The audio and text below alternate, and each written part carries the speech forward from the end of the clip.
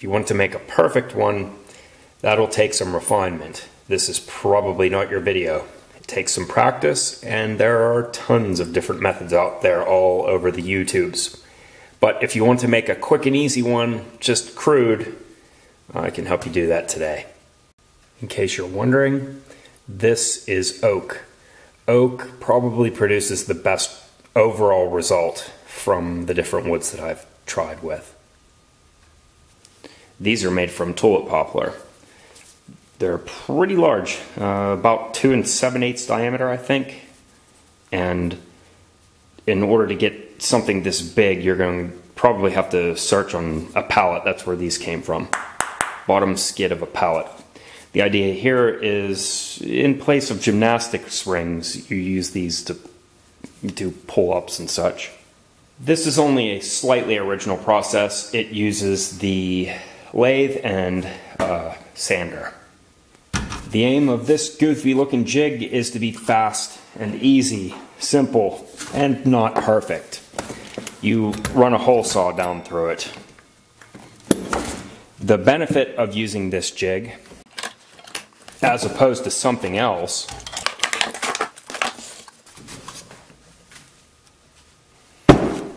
is that you can uh, right off the hump. That's what they call it in pottery and ceramics. It's called throwing off the hump, where you have a mass of clay and you make a pot right off the top, and then you leave some usable working material still on the wheel head. Similarly, we're just using a faceplate on the lathe, and you'll be able to cut one of these balls out of it and then another one out of it without even attaching with a center on the other side. So the advantage here is that you can run the hole saw the whole way until the sphere drops away.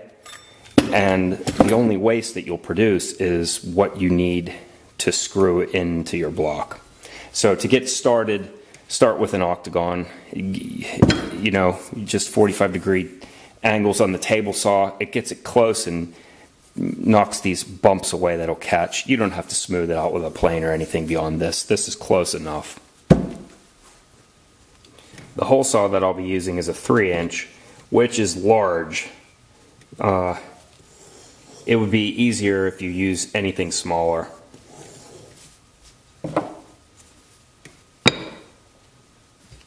If you've never used a faceplate before, the circle is so that I can catch these.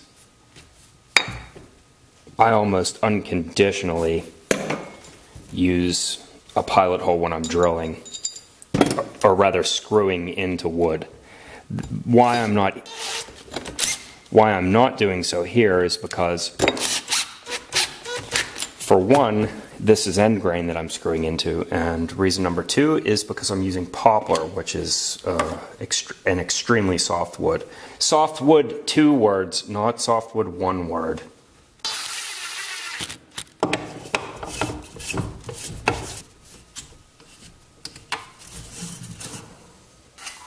A really simple jig. Before I get started, I'll say a couple things about it. This block here is for diagonal strength. The drill is pushing down on it, and as there's bumpiness, it wants to cause a deflection. So it's very, it's very important that the entire jig remains square. This is just a friction fit over the bar but I clamp it here and here to get it nice and tight once I have it in place. This is, it's just additional surface area to give the hole saw more bite as you move through. Once you get through the, to the bottom, when you're about ready to break through, there's not much of the hole saw that's still touching the side of this piece of plywood. This smaller hole is just a viewing hole for the placement of the jig, we want the edge of the guide hole to be tangent to the edge of the block. Remember that your hole saw still takes an eighth of an inch of material away. So it's kind of like the, as close to the pin as you can get without going over.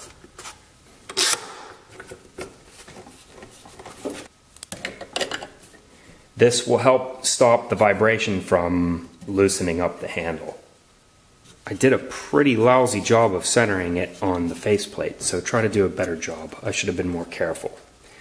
Take note that there isn't very much clearance right there right now, but later as it starts to approximate a sphere, there will be room to fit this in so that we can get our additional surface area down here.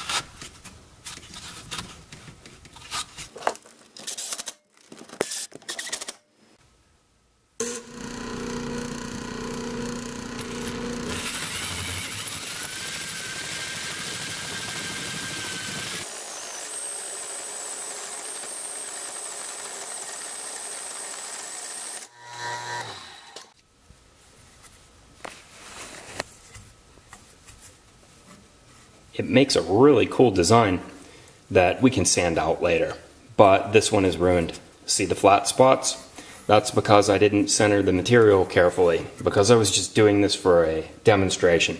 It's split anyway, but nevertheless, the procedure is the same. And if I wanted to, I could still salvage this by using the next smaller hole saw, but I would have to change this top plate.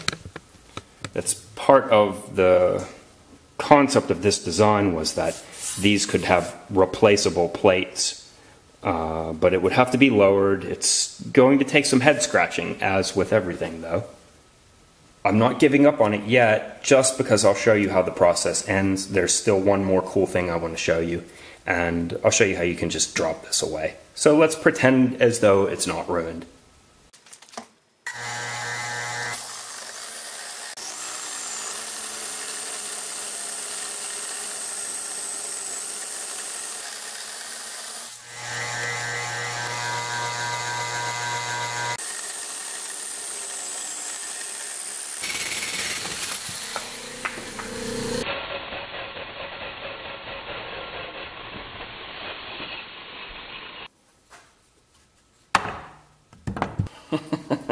It's not entirely ruined, ruined after all.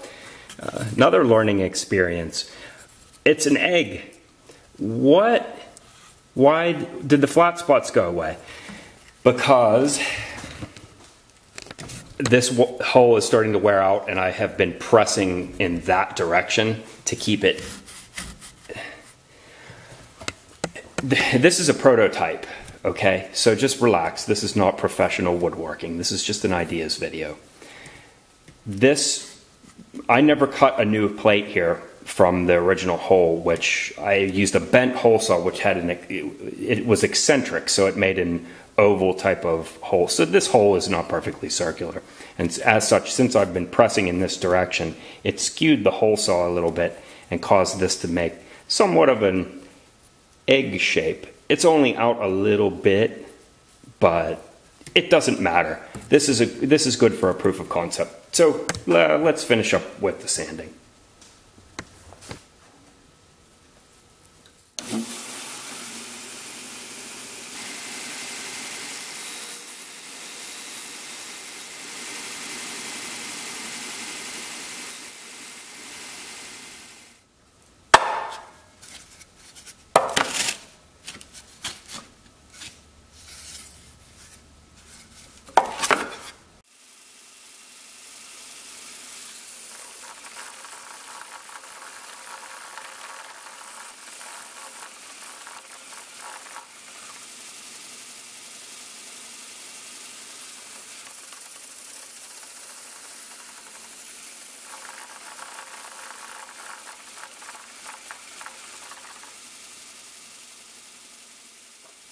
And there you have it. Uh, if you do it, these ones turned out to be perfect. They just needed to be sanded better. But if you do this, you you know make sure that top hole is nice and neat. Don't let it go bad, or you'll you'll you'll end up with an egg like this. And the egg didn't sand as well on the sander because you could see it bouncing around everywhere. But something to play with. I uh, hope you enjoyed this. I, I don't expect you to, but say la vie. See you on the next subject. No, this is not the procedure that I use to make this. There are a million different ways to do this. It, I was just trying to give you an idea. See you later.